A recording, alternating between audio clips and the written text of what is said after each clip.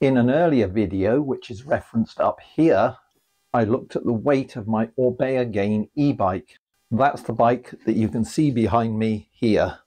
Now, when I bought the bike, it was a M30, and as it came out of the box, it weighed in at just under 13 kilograms.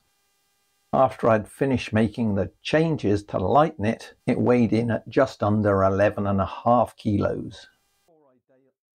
Before I delve into the details, I should say I am an engineer and with my engineer's hat on, I know that lightening a bike or buying a light bike is a relatively expensive way of getting a very small performance improvement. However, I know that we cyclists like to break the laws of economics and physics. Or is it we just like our light bikes? Probably the latter. And that's why, despite me thinking as an engineer I still went ahead and lightened the bike anyway. However, I decided not to get carried away and I decided at the time that I would limit my budget to a total of £2,250. That includes the purchase of the bike and the upgrades that brought it down to 11.5 kilos. In this video, I've decided I can spend an extra £250 and I'm going to look at how much further I could have lightened this bike by spending that £250. Okay then, let's go over to the computer, look at what I could have purchased and see how much lighter I could have made this bike. A relatively easy first thing I can do is revert to the original headset spacers and steerer expander. That's 32 grams saved. Next, I'll turn my attention to the wheels and in particular the rims where I made a more substantial weight saving.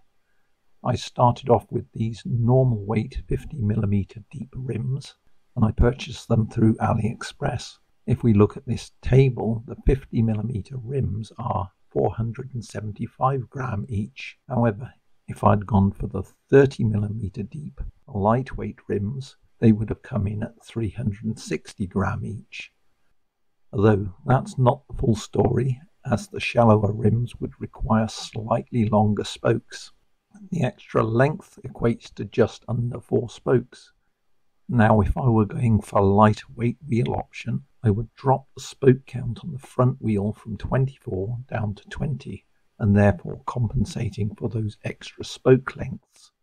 If I'd gone for the 30mm deep lightweight rims, the total additional weight saving would have been 230 gram. The additional cost is around 70 pounds. The chain set is an area where I could drop some mass too. I've identified this set of cranks which weigh just 388 gram.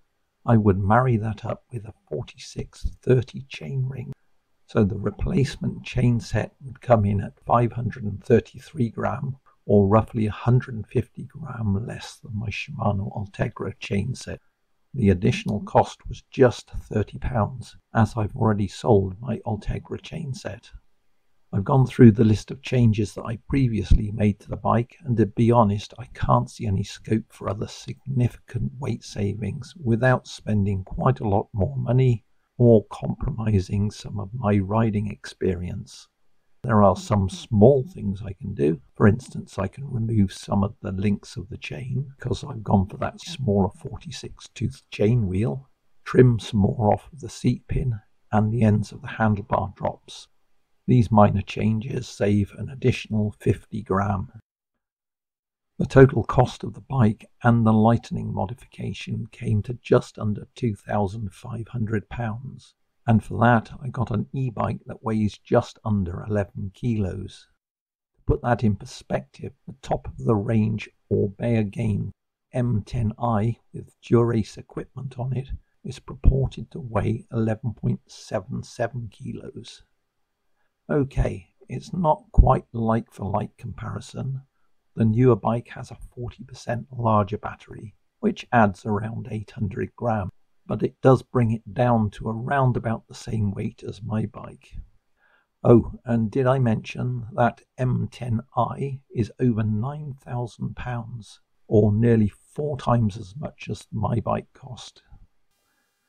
So I think the point of this video is that you can go out and buy a lower spec, cheaper e-bike model, carry out some targeted and well thought out upgrades and get a bike that's as light or lighter than a much more expensive model. I should say this doesn't just work for e-bikes, it can work for acoustic bikes too. So I got my Orbea Gain e-bike, this one, down to just under 11 kilos, which is comparable to a top spec current Orbea Gain model. Now at the outset I said lightening the bike really doesn't make that much sense. So I'm going to stop here, stop lightening the bike and just ride and enjoy this 11 kilo monstrosity that I've produced. However, my curiosity doesn't stop there. So in a future video, I'm going to look at removing all of the constraints, financial constraints and other practicality and desirability constraints and see just how much more weight I could have taken off of this Orbea Gain. If you've enjoyed this video, please give it a thumbs up. And if you want to see the next theoretical video about lightening this bike even further, please consider subscribing. From me until the next video, it's goodbye.